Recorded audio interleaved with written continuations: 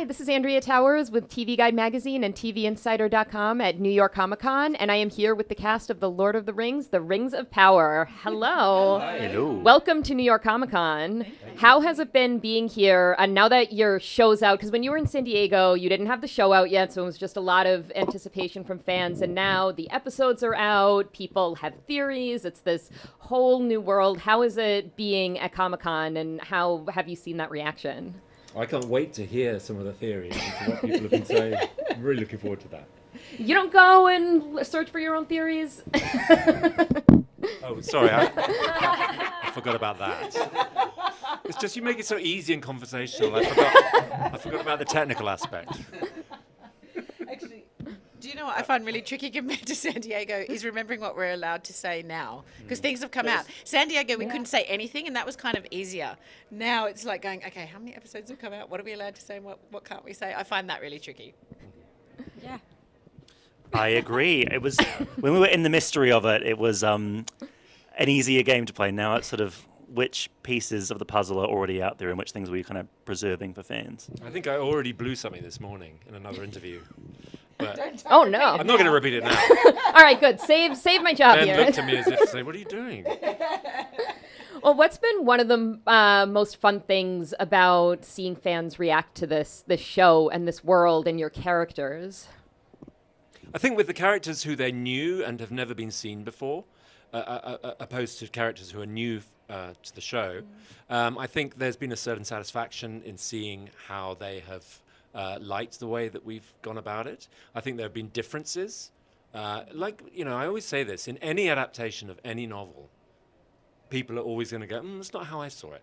But I think what's been wonderful about this is that they've gone with it, and uh, it's paying paying off now. Also, the cosplay.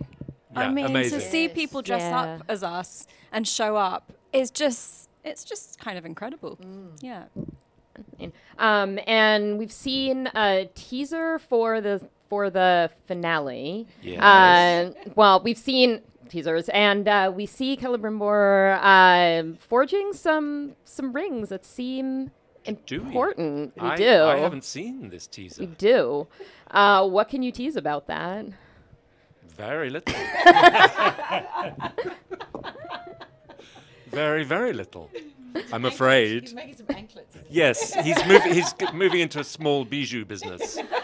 Uh, He's gonna go sell them off, and Yeah. you know. it's- he's, he's on Etsy now. uh, Sarah, how much fun is it to be a Harfoot? Um, it is uh, such a joy to be a Harfoot. And one of the great things about being a Harfoot is the way JD and Patrick ha- have envisaged their world. Because I've been such a fan of The Lord of the Rings since I was a kid, and I loved The Hobbits, still love The Hobbits. And watching um, the rich history that JD and Patrick have created has been incredible. And just being like running around in the forest is just so, so much fun. Um, and Leon, you are a newer character.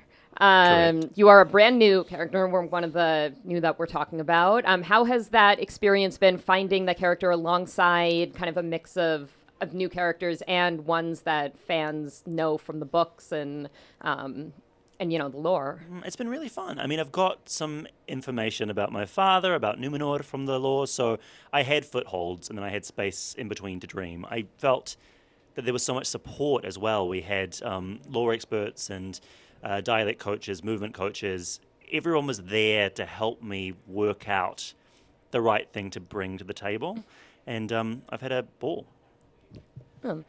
Uh, so, what can you tease about uh, the finale that's coming up for fans? I, I think it's uh, if we can tease anything, it is the beginnings of the storyline slowly starting to merge, perhaps, hmm. uh, heading in a direction that may unify or otherwise. Where we hmm. have It spent will the all start few to make weeks. sense, I would say. Will we see Bronwyn riding on horseback again? I mean, w- w- uh, for the first time, yes. May- maybe, possibly for the first time. For the first time. I, I would actually like to see Harfoots on horseback. I hope. that- That's a whole spin-off. Yeah, the title's right there. Yeah. Half- yeah. I feel like that that could be a whole new Tolkien uh, uh, anecdote. Right, well, Lord of the Rings, The Rings of Power is currently airing on Amazon Prime. You can catch up on all episodes now. Thank you so much for stopping by. Thank, Thank you. you very Thanks so much. much.